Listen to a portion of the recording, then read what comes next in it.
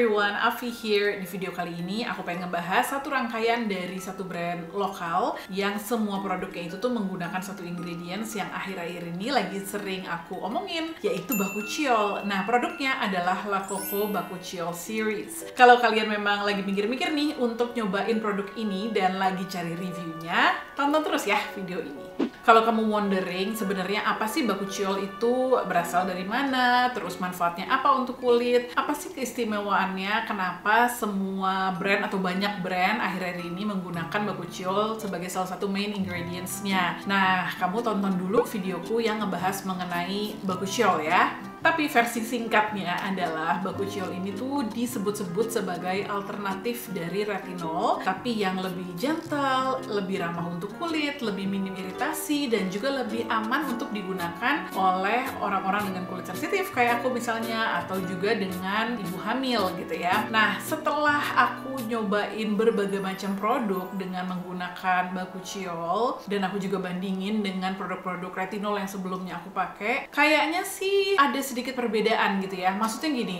ya sebenarnya mungkin bakuchiol itu memang punya efek yang mirip-mirip dengan retinol, tapi bakuchiol as its own ingredient actually has a lot of benefits to our skin. Jadi tanpa harus dibandingkan dengan retinol pun, sebenarnya menggunakan produk skincare dengan bakuchiol itu ada banget manfaatnya gitu ya. Jadi sebenarnya kamu tidak perlu memilih salah satu aja gitu ya. Kalau misalnya kamu tetap mau pakai retinol, nggak apa-apa banget kamu gabungin dengan bakuchiol karena ada beberapa malah yang bilang kalau misalnya penggunaan retinol barengan dengan bakuchiol itu akan lebih bagus hasilnya. Tapi kalau misalnya kamu itu belum mau pakai retinol for whatever reasons atau mungkin kamu tuh kulitnya sama kayak aku yang sensitif, yang agak rewel gitu ya kalau misalnya pakai active ingredients yang lebih strong, ya udah kalau gitu kamu bisa pakai bakuchiol karena bakuchiol ini sebagai satu ingredients juga punya banyak manfaat untuk kulit, hasilnya juga bagus, terutama kalau misalnya produknya itu di dalam satu formulation yang bagus gitu ya. Asal kita mungkin kayak jangan berharap kalau misalnya hasilnya itu akan sama persis dengan retinol. Karena seperti aku bilang tadi di awal dia ini dua ingredients yang berbeda gitu ya dan retinol sendiri itu kan merupakan kandungan yang udah lama banget dipakai untuk produk anti-aging. Udah banyak banget penelitiannya gitu ya. Jadi memang nggak bisa 100% dibandingkan dengan bakuchiol yang relatif masih baru, baru-baru ditemukan, belum terlalu banyak juga penelitiannya. Having said that, seperti aku bilang tadi, aku udah nyobain berbagai macam produk bakuchiol dan memang semua itu tuh tergantung dari formulasinya juga ya gitu. Maksudnya walaupun dua produk sama-sama menggunakan bakuchiol, efeknya mungkin beda di kulit kita karena tergantung tergantung gimana produk tersebut itu diformulasikan. Khusus untuk La Coco Bakuchiol series, karena aku pakainya udah cukup lama, udah dua bulan lebih gitu ya, I could say that they are really great products with great formula, dan aku mau share pengalaman aku menggunakannya. Jadi ada empat produk dari rangkaian La Coco Bakuchiol series ini, kita bahas satu persatu ya. Kita mulai dari Bakuchiol Sheet Mask. Jadi waktu pertama kali nyoba Bakuchiol Sheet Mask ini, aku kayak udah tahu bahwa ini kayaknya bakalan jadi salah satu sheet mask favorit aku sih. Karena kita bahas dari bahannya dulu ya. Jadi kalau sheet mask biasa itu kan biasanya tuh dari kayak semacam fabric gitu ya, jadi kayak kain gitu. Atau bentuknya itu gel karena ada juga sheet mask yang terbuat dari hydrogel. Nah kalau sheet masknya La Coco Bakuchiol ini tuh beda gitu ya. Jadi dia itu sheet masknya itu bahannya itu terbuat dari fermentasi kelapa gitu jadi memang lucu sih kayak agak almost jelly like but not exactly jelly like susah ngejelasinnya ya. Tapi pokoknya dia tuh elastis gitu lentur-lentur gitu dan kuat banget. Jadi kalau misalnya agak ditarik-tarik dikit pun dia nggak akan robek ya aku suka banget pada saat diaplikasikan ke muka dia itu nempelnya mantep ya. Jadi nggak bakal geser-geser nggak bakal pindah-pindah. Jadi tuh nyaman banget deh pokoknya bener-bener mantep banget ke kulitnya. Nah karena dia terbuat dari fermentasi kelapa dia itu juga biodegradable jadi katanya sih materi si sheet mask itu tuh akan terurai dalam waktu 45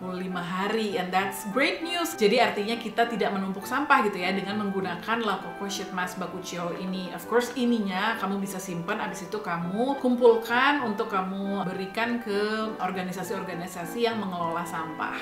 Nah jumlah essence-nya sendiri di dalam sheet mask ini tuh pas gitu ya karena ada beberapa sheet mask yang kayak basah banget jadi lebay banget gitu kan yang pada saat kita keluarin dari bungkusnya aja dia kenetes-netes tapi ada juga yang kurang banyak gitu sehingga pas kita udah lepas sheet masknya aku kayak nggak berasa pakai apa-apa. Nah kalau ini tuh pas kalau menurut aku jumlahnya gitu ya essence-nya itu. Terus di dalamnya sendiri selain bakuchiol itu juga ada ekstrak beberapa tumbuhan. Salah satunya adalah bunga Victoria Amazonica yang bisa menambahkan hidrasi ke kulit sekaligus bisa mencerahkan juga. Terus ada niacinamide-nya sebanyak 1% terus juga ada willow bark extract juga. Nah jadi sheet mask ini tuh aku ngerasanya yang cukup instan gitu ya. Jadi misalnya satu kali pemakaian aja udah kerasa itu adalah kulit aku jadi lebih kalem. As you know I struggle with redness every single day. Dan kalau pakai ini walaupun mungkin rednessnya tuh nggak totally gone tapi kerasa banget kulit aku jauh lebih nyaman jauh lebih tenang lebih soothe gitu ya. Dan kemerahan pun sedikit berkurang. Dan kombinasi ingredients yang di,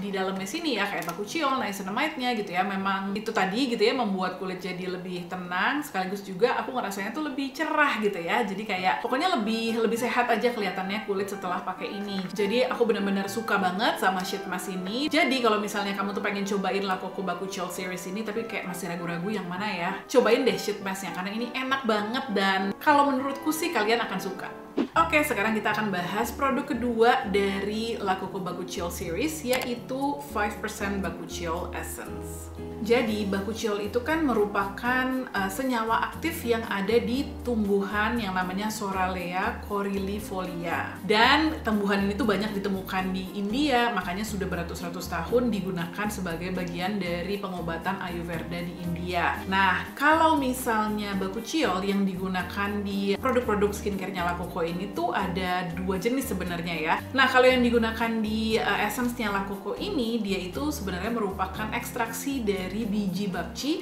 yang diambil dari tanaman yang sama gitu ya, Soralea coryllifolia tadi. Nah, dari proses ekstraksi monomolekul itu tadi didapatkan bakuchiol, jadi senyawa bakuchiol itu didapatkan katanya sih dengan tingkat kemurnian sebesar 99%. Nah, jadi 5% yang ada di essence ini tuh adalah merupakan ekstrak tumbuhan Soralea coryllifolia tadi. Terus di dalam essence ini juga ada beberapa kandungan yang punya fungsi berbeda-beda gitu ya. Kayak misalnya ada 3% niacinamide dan juga ada 1% white gen. Ini tuh skin brightening ingredients, jadi bisa membantu untuk membuat kulit kita kelihatan lebih bersih, lebih cerah gitu ya, sekaligus memudarkan noda-noda hitam. Terus dia juga ada salicylic acidnya yang bisa ngebantu untuk menekan peradangan di kulit kita, membantu mengatasi jerawat juga. Terus ada hyaluronic acidnya juga yang kita semua tahu lah ya, merupakan humectant yang bagus banget sebagai hydrator untuk kulit kita. Jadi memang essence ini tuh diformulasikan untuk membantu kita mengatasi tanda-tanda penuaan, bisa mengatasi jerawat juga, dan juga untuk mencerahkan. Aku sendiri yang sangat-sangat kerasa dengan menggunakan essence ini adalah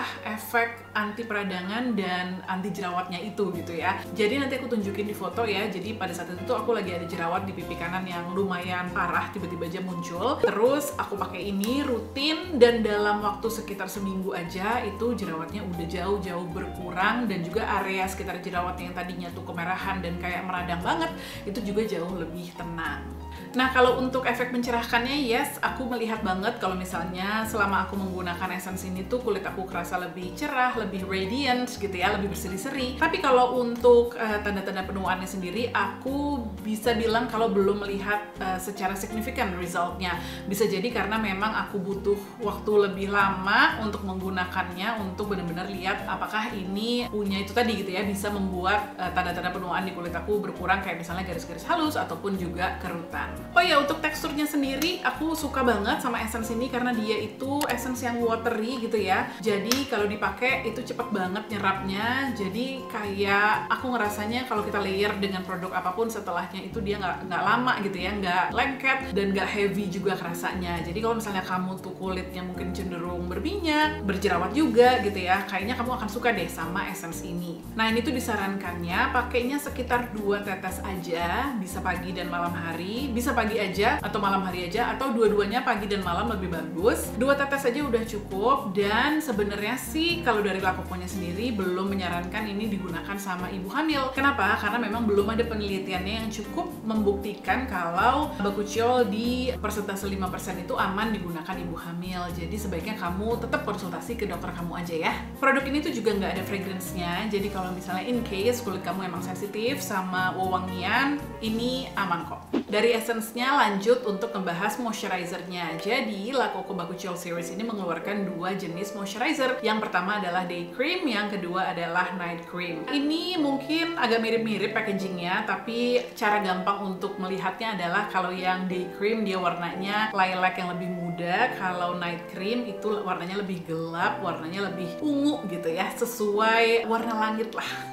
nah, kita bahas day creamnya dulu ya. Jadi di dalam day cream ini yang digunakan adalah bakuchiol. Jadi seperti aku bilang tadi ya, kalau essence-nya itu kan menggunakan 5% ekstrak Soralea coryllifolia.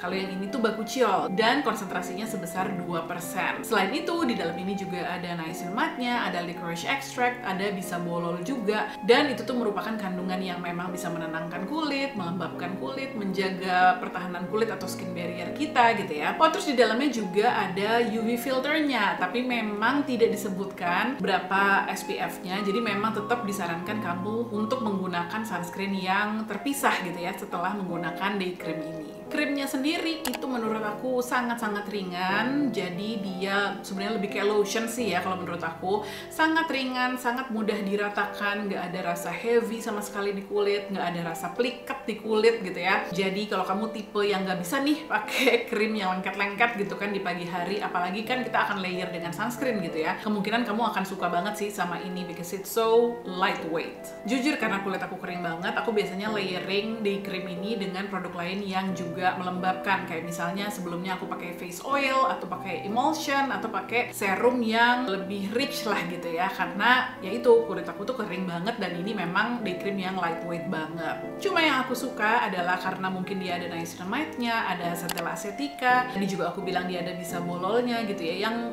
ngebantu kulit aku tuh untuk kayak lebih kalem gitu ya. Um, jadi memang itu yang aku rasain ya.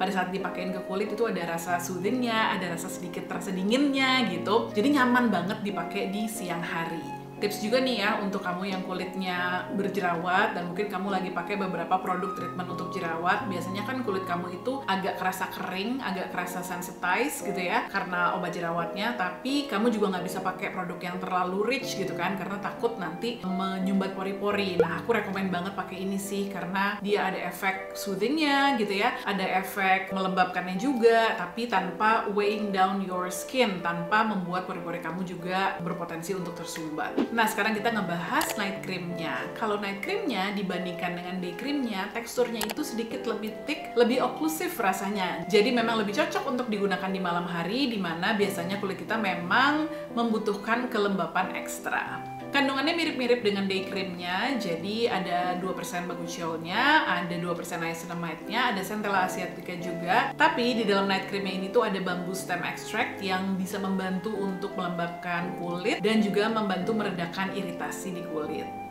night creamnya ini kalau digabungkan dengan essence-nya memang bagus banget sih ya. Aku notice banget kalau misalnya kulit aku bangun-bangun itu jadi kerasa lebih plump, lebih sehat, lebih lembab juga, lebih cerah juga kalau misalnya aku menggunakan essence-nya digabungin dengan night creamnya ini. Dan seperti aku bilang tadi ya, kan essence-nya ini kan dia ringan, cepat menyerap gitu kan, dan jadinya tuh kayak zat aktif yang di sini itu dilindungi oleh si night creamnya ini semalaman. Untuk daya melembabkannya sendiri di kulit aku yang kering kering ini cukup melembabkan tapi memang aku makainya biasanya agak banyak gitu ya jumlahnya. Jadi dia tuh memang kayak itu tadi ya oklusif jadi ada kayak semacam lapisan di atas kulit gitu kan. Tapi tetap nggak kerasa heavy. Nah kalau misalnya kamu kulitnya berminyak mungkin kamu nggak perlu pakai banyak-banyak sih karena sedikit aja dia udah sangat-sangat melembabkan kok. Sekian review aku tentang produk-produknya Baku Chill series. Overall aku suka banget sama produk-produk ini. I will continue using it. I'm also a believer in Baku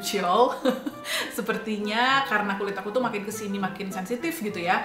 Aku udah jadi semakin susah mentoleransi retinol ataupun uh, strong actives lainnya. Jadi aku seneng banget kalau misalnya nemu produk atau ingredients yang works well on my skin tapi dengan resiko iritasi yang sangat-sangat minim. Nah, aku menemukannya di produk-produk La Coco Baguchiol ini sih gitu. Jadi kalau misalnya kalian mungkin kulitnya sama kayak aku ya sensitif atau kalian juga ngalamin jerawat karena menurut aku ini juga efektif untuk kulit yang berjerawat gitu ya atau kamu pengen yaitu dapetin uh, produk-produk yang punya efek mencerahkan melembabkan mencegah tanda-tanda penuaan kamu bisa cobain La Coco Bakuchiol series ini kamu sendiri gimana? Udah cobain apa belum produk-produk La Coco Bakuchiol? Silahkan tinggalin pendapat kamu di comment box di bawah ya. Kita ketemu lagi di video berikutnya. Thank you so much for watching everyone. Bye!